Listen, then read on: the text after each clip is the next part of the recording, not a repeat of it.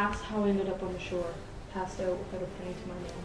Wow, what a story. But don't worry, I'll have a ship loaded with treasure and send you back home to Ithaca.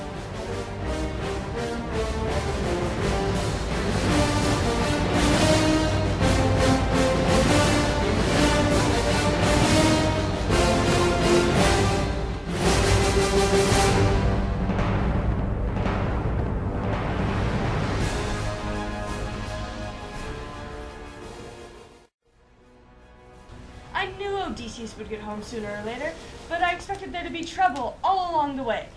The Phaeacians sent him home with fine clothes and more treasure than he would have gotten from even the war. Why grumble? Just do as you will. The gods will think no less of you. I should sink their ship and raise a mountain around the seaport town. If I were you, I would just turn the ship to stone. Don't raise a mountain outside a seaport town. Where am I? Those sailors, they tricked me!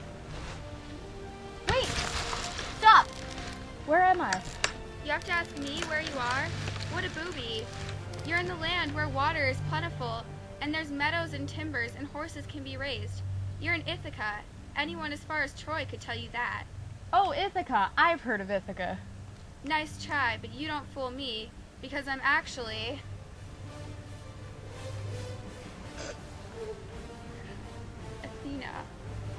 Athena, I thought you liked me. Where have you been? How do you think you got here? Now listen up. There are tons of suitors in your castle. They've been there for three years trying to get Penelope to marry them.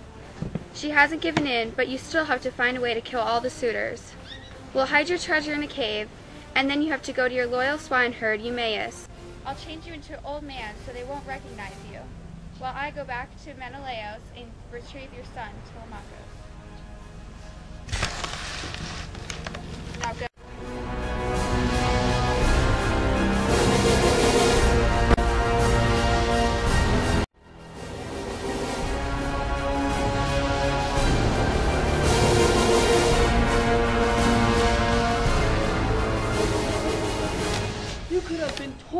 Pieces, that was close.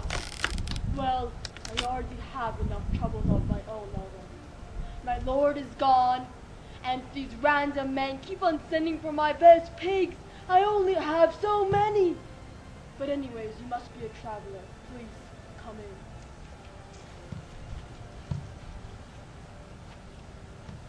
in. So who is this master? I may know him. Oh, people always lie to Penelope, making up stories about him just for a meal or for a cloak. But then again, you could lie too. But he's decomposed or long lost at sea. But, well, then again, where are you from?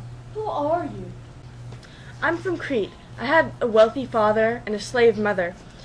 After my father died, my brothers gave me the worst lot, so I joined the Achaeans and went to war in Troy. I spent a month at home before I left again for Egypt. When we were there, my men, despite my orders, ransacked some bottomland towns. The next morning, Egyptians came and tried to kill us all, but I escaped by surrendering and lived in Egypt for seven years. Then I listened to a Phoenician who claimed great ideas. He tricked me into slavery, but the ship I was on sank, and I held on to the mast until I floated, floated to Thesprotia, where I heard news of Odysseus. Odysseus had stayed there and brought gifts of bronze and silver. The king of Thesprotia was to send me to Dulichium, but the crew made me a slave. They bound me when I got to Ithaca and went ashore to sleep.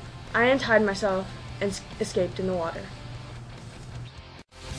Late night, come home, work sucks.